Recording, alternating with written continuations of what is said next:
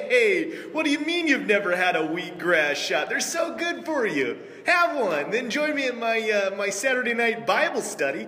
It's uh Hey guys, it's Andy here. I'm thinking about throwing together a paintball event this weekend. I'm going to send an Evite out. Afterwards, we'll read the Bible and watch a movie.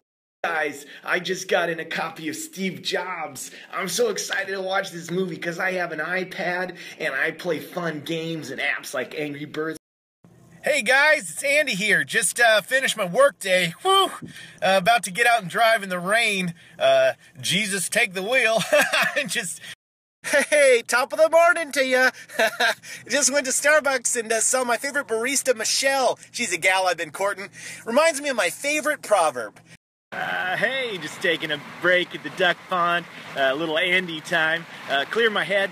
You know, ducks are, are beautiful creatures. Shows God has has a sense of humor. Uh, sorry, I get get a little sleepy after I have carbs for lunch. I'll get a Mountain Dew and and. Uh, a lot of people have been asking him about Andy. Uh, my, my favorite band is Dave Matthews Band. I love the TV show Mad About You and uh, that movie Miracle about the ice skate.